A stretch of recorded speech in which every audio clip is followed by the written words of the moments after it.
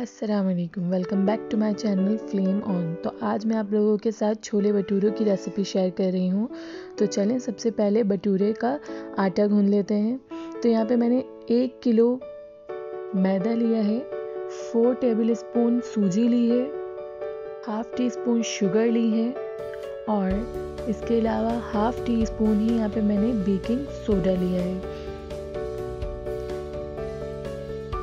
इसके अलावा मैं यहाँ पे हाफ़ टी स्पून ही सॉल्ट ऐड करूँगी और फोर टेबल स्पून घी ऐड करूँगी।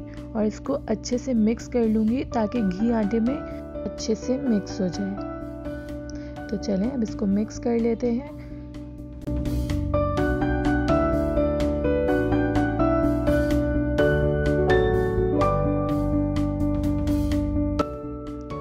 देखें, आटा अच्छे से मिक्स हो चुका है। अब हम इसमें हाफ़ कप के करीब दही ऐड करेंगे और इसको भी अच्छे से मिक्स कर लेंगे। और फिर जितनी हमें नीड होगी, उस हिसाब से पानी ऐड करके इसको भून लेंगे। इसको बहुत सख्त नहीं भूनते भटूरे की डो बहुत सॉफ्ट अच्छी सी बनती है ताकि भटूरे फूलें। अब आटा भून लेते हैं।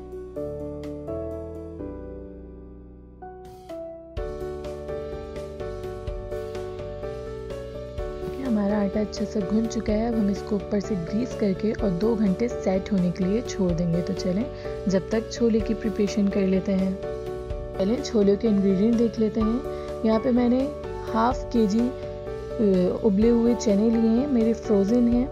उसके अलावा थ्री टमाटोज़ लिए हैं, जिनको मैंने हल्का सा ग्राइंड कर लिया था। टू मीडियम साइज़ अनियन ली है और वन टेबल स्पून पिसी हुई लाल मिर्चें ली हैं।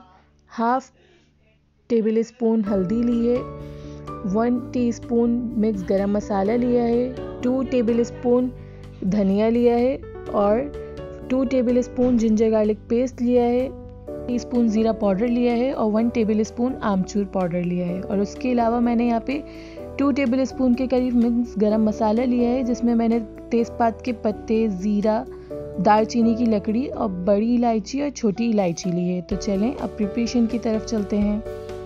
तो यहाँ पे मैंने हाफ़ कप के करीब ऑयल लिया था, जिसमें गरम मसाला ऐड कर कर इसको थोड़ा सॉटे करूँगी और उसके बाद इसमें अनियन को फ्राई कर लूँगी।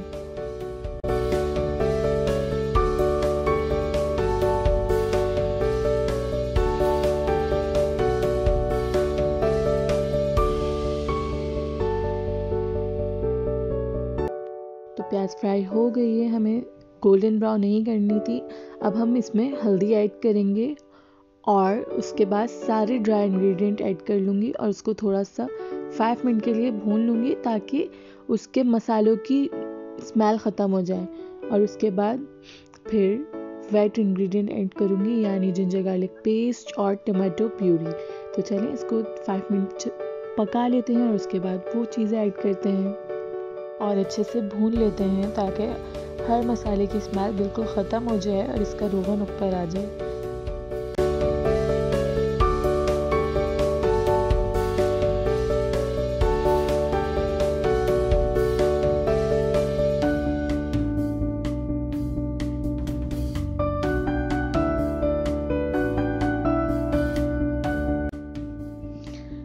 तो हमारा मसाला अच्छे से भुन चुका है।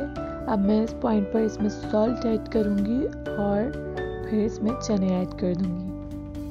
और छोले भटूरे के चनों में थोड़े से ओवर कुक चने यूज़ करते हैं ताकि उसका सालन थोड़ा गाढ़ा गाढ़ा और बहुत अच्छा सा बने। तो जब भी मैंने यहाँ पे थोड़े ओवर कुक चने ऐड किए हैं, मैंने यहाँ पे फ्रोज़न चने ऐड किए हैं। आप अगर नॉर्मल यू चने इस्तेमाल करें तो उसको फाइव मिनट पका कर फिर उसके बाद तड़का लगाएँ, यहाँ पे मैं टेन मिनट्स इसको दूँगी और उसके बाद खोल के देखते हैं। तो ये देखें टेन मिनट्स गुजर चुके हैं और हमारे चनों का सालन बिल्कुल रेडी है। हम इसको फुल फ्लेम करके फाइव टू टेन मिनट्स के लिए पकाएँगे ताकि जो इसका पानी है वो भी अच्छे से पक जाए और उसके बाद इसमें तड़का लगाएँगे।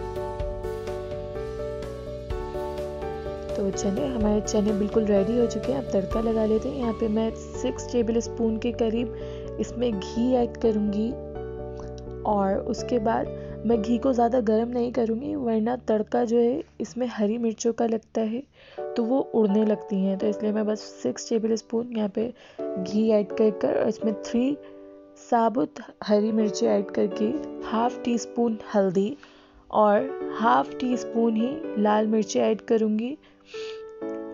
और इसको थोड़ा सा चलाकर और उसमें ऐड कर दूँगी। इसको बहुत देर पकाएँगे नहीं, वरना मसाला उड़ने लगेगा। टी स्पून ही गरम मसाला ऐड करूँगी। तो चलें, अब तड़का लगा लेते हैं।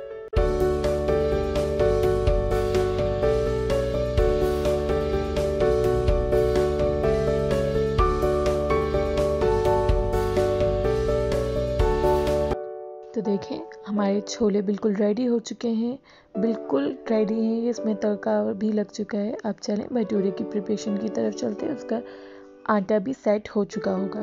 तो यहाँ पे मैं सबसे पहले पेड़े बना के रख लूँगी सारे और इसको टेन मिनट्स के लिए पेड़े बनाने के बाद भी छोड़ दूँगी ताकि भी बिल्कुल सेट हो जाए।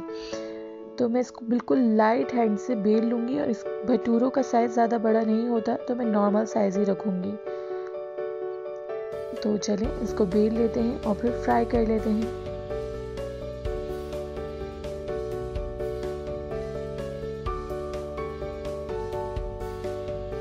तो देखिए, अब हमने भटोरा डाल दिया है और जब ये टल कर थोड़ा राइज हो जाए, उसके बाद इसको साइड से हल्के हल्के हाथ से प्रेस कर कर हम घुमाते रहेंगे।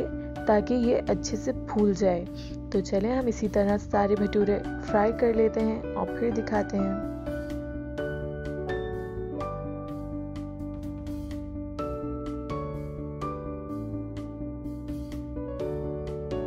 तो देखिए, हमारे भटूरे फ्राई हो गए हैं। कितने अच्छे से फूले फूले और इसका थोड़ा डार्क ही कलर रखते हैं। तो चलें, इसी तरह एक और बना लेते हैं।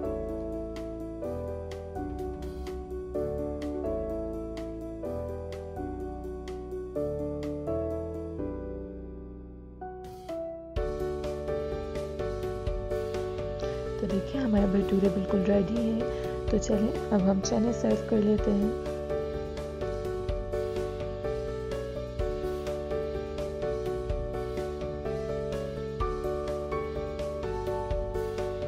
तो देखें हमारे छोले भटूरे बिल्कुल रेडी हैं। आई होप आप लोगों को ये वीडियो ज़रूर पसंद आएगी तो ज़रूर ट्राई करें। और कमेंट सेक्शन में लाजमी बताएँ कि आप लोगों को कैसे लगे। तो मेरी वीडियोस को लाइक करें, शेयर करें और मेरे चैनल को सब्सक्राइब ज़रूर करें। तो मिलती हूँ नेक्स्ट वीडियो के साथ। तब तक के लिए अल्लाह हाफिज़। Thanks for watching